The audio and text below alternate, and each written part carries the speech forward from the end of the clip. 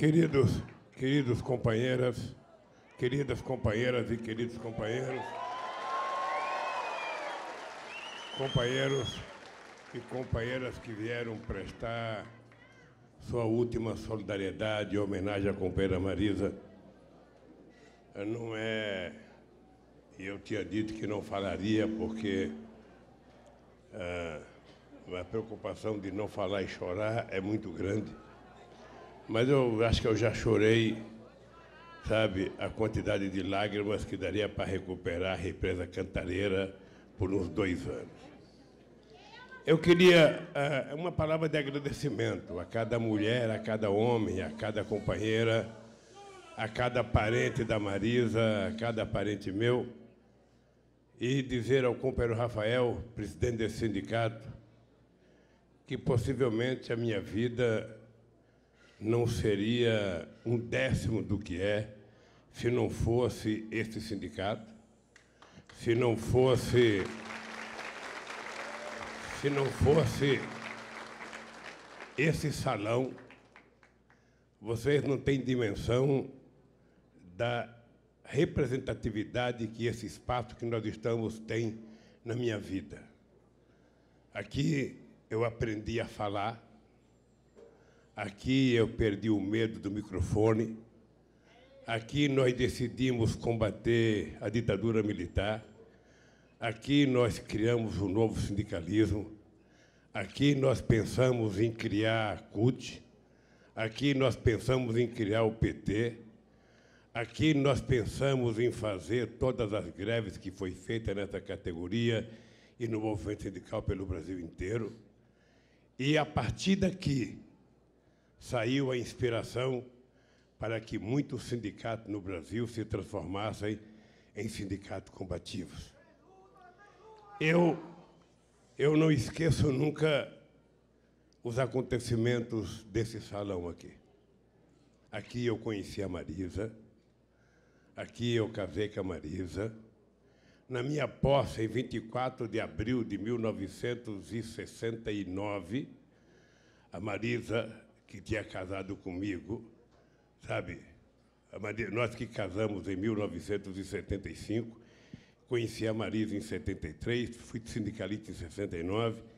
Em 1975, quando nós fomos à posse, a Marisa já tinha o Fábio com meia dúzia de meses no, no, colo e o Marco já tinha nascido. Ah, aqui nós tivemos os nossos filhos.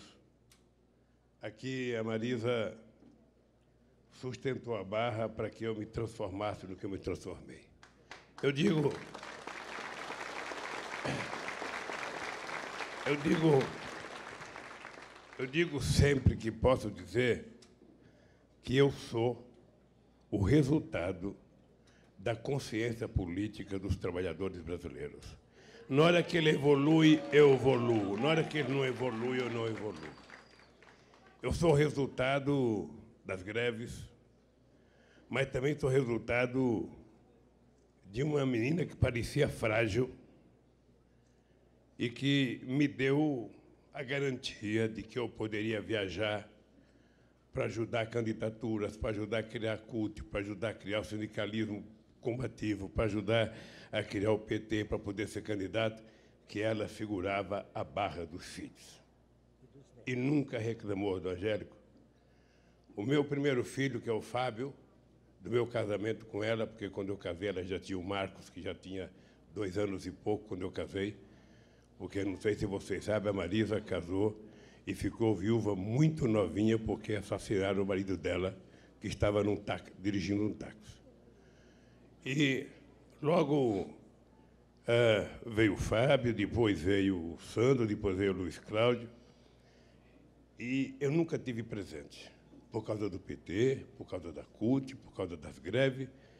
Eu lembro que quando o Fábio nasceu, a gente estava pescando aqui na represa Binix, lá no Montanhão. Aqui estava a Maria, aqui estava o Antônio, aqui estava a Inês.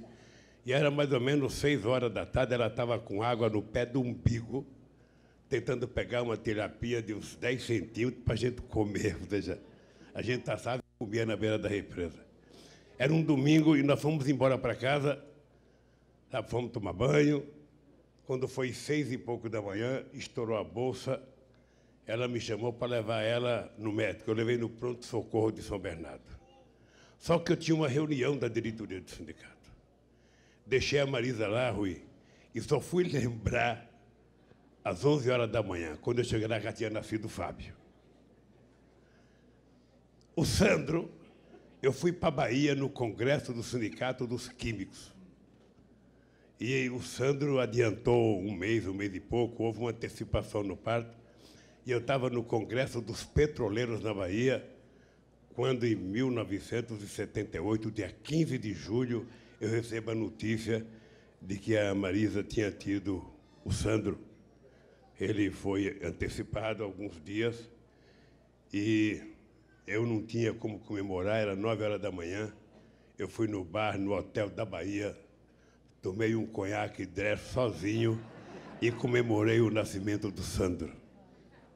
Aí nós combinamos que no próximo filho eu ia cuidar de ver o parto. Eu estava com ela em Cuba, o Sandro era pequeno, e a gente foi visitar um show lá em Cuba, no Tropicana, e não podemos entrar por causa do Sandro. E aí nós votamos, e por obra de Deus nós fizemos o companheiro Luiz Cláudio, que está aqui. Aí foi muito engraçado, porque lá em Cuba também eu descobri que o Sandro tinha um problema no coração.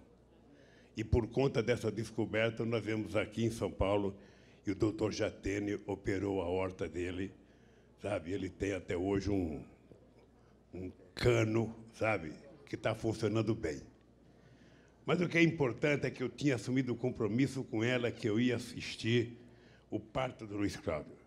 Apareceu uma companheira que eu nem sei se está aqui no meio, uma companheira ex-militante do Partidão, Albertina de Souza, uma médica excepcional, muito amiga do Frei Chico, que falou para Marisa: Eu quero fazer o seu parto gratuitamente. É um presente meu para você e para o Lula. Aí eu fui na Clínica São Luís, era mais ou menos cinco e meia da tarde, quando eu estou na Clínica São Luís, oh Rui, eu recebo um telefonema do Djalma Bonca, não sei se está aqui também, era presidente do PT estadual, e falou, ô Lula, o PMDB quer uma reunião urgente, porque quer discutir aliança conosco aqui em São Paulo.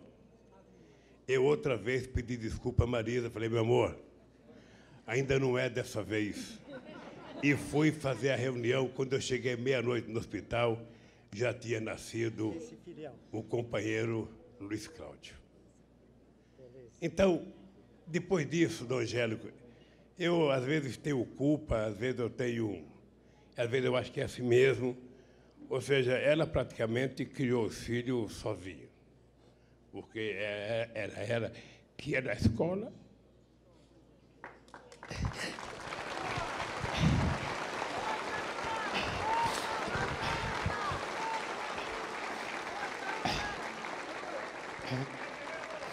Na verdade, na verdade, essa vocês dançaram tão bem lá Sei Porque. Na verdade, eu acho que ela foi mãe, ela foi pai, ela foi tia, foi avó, foi tudo. Porque ela cuidou de todos e nunca reclamou da vida. A Marisa começou a trabalhar com 11 anos de idade de empregada doméstica, era babá.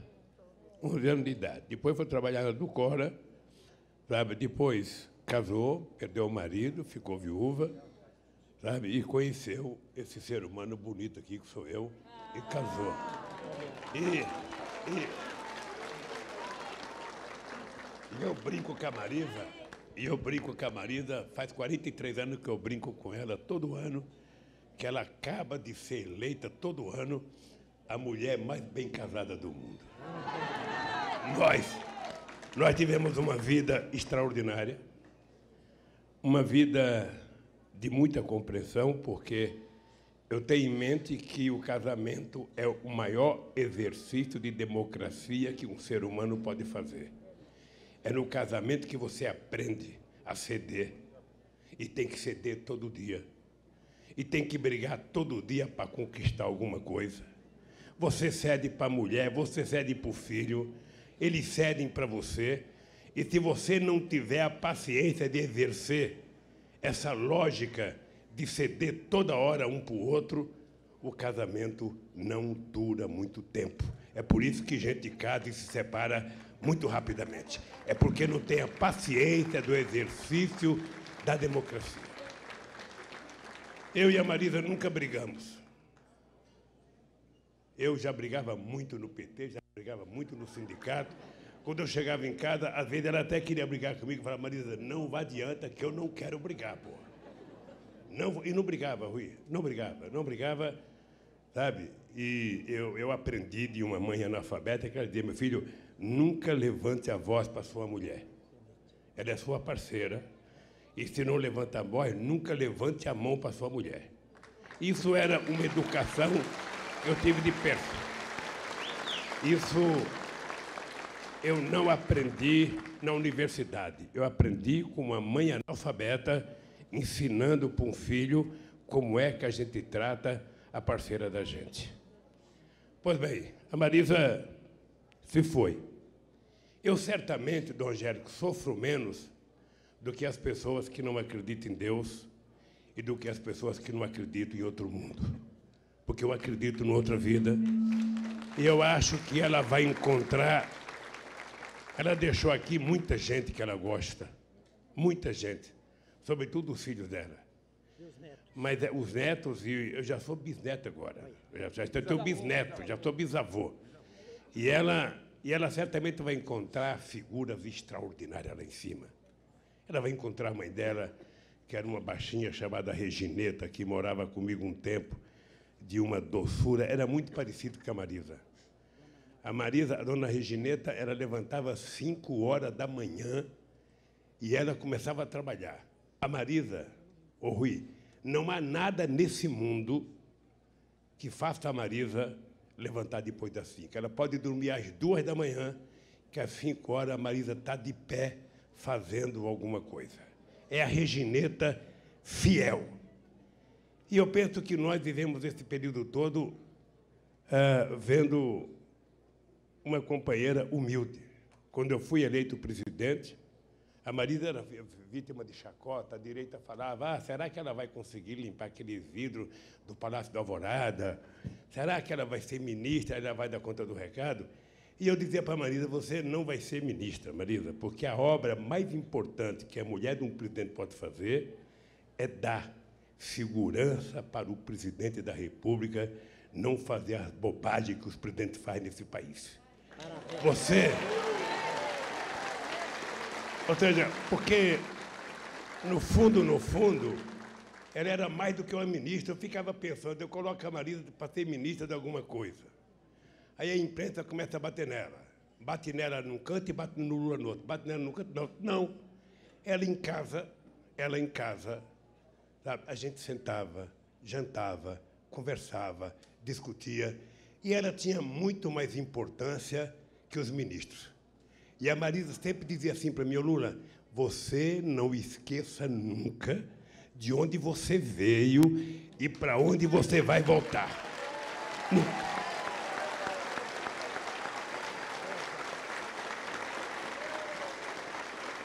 Uma vez, e eu vou contar isso para terminar, e uma vez a gente estava jantando no Palácio da Alvorada e de repente a Marisa começou a rir, começou a rir, começou a rir. E eu não sabia por que, a Marisa estava rindo.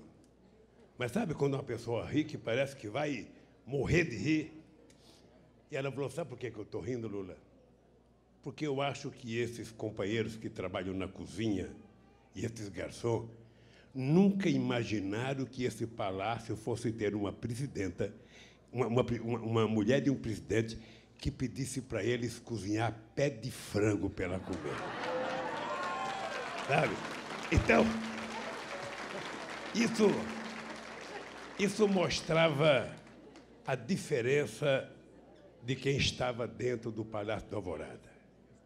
E ela dizia para mim, ô Lula, a gente não pode fazer nada, nada mais importante do que a gente fez quando a gente não era presidente.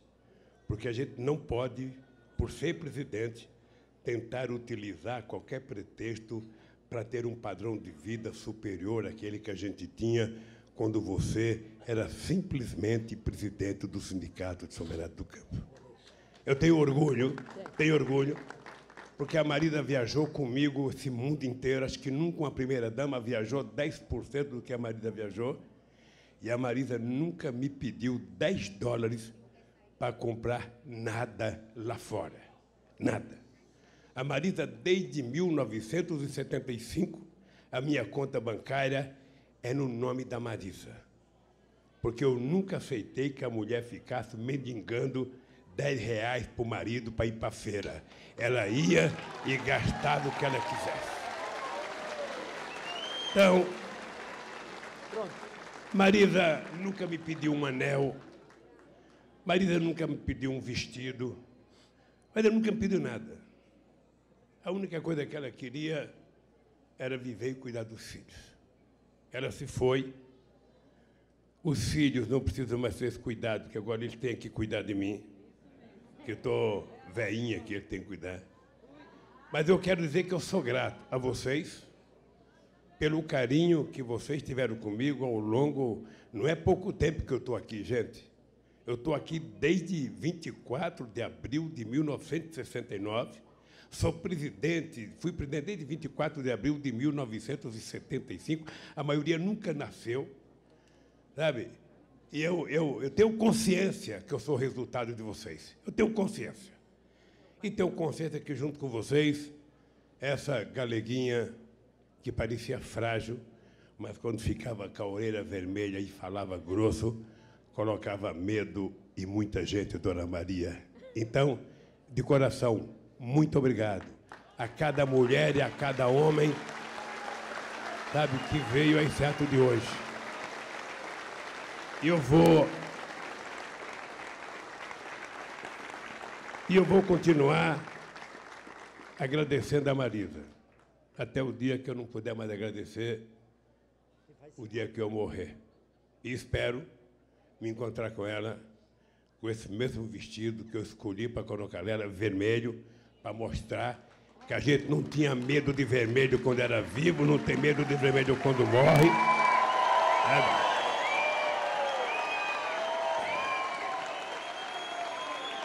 Ela, ela está, ela tá com a estrelinha do PT no seu vestido e eu tenho orgulho dessa mulher, junto comigo e outros milhares Muitas vezes, essa molecada dormia no chão da Praça da Matriz e a Marisa e outras companheiras vendendo bandeira, vendendo camiseta, para a gente construir um partido que a direita quer destruir.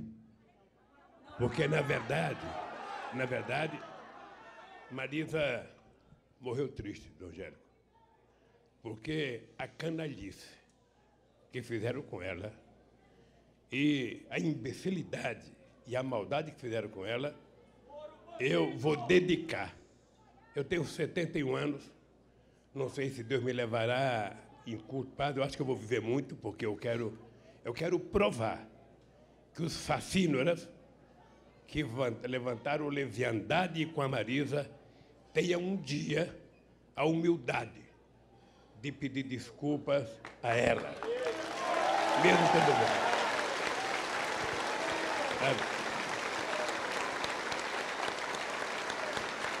Eu, eu digo todo dia, se alguém tem medo nesse país, se alguém praticou corrupção nesse país, se alguém tem medo de ser preso, eu quero dizer o seguinte: esse que está enterrando a sua mulher hoje não tem. Primeiro, primeiro, porque eu tenho a consciência tranquila, tenho certeza da consciência e do trabalho da minha mulher, e não sou eu que tenho que provar que sou inocente. Eles é que precisam provar que as mentiras que eles estão contando são verdadeiras.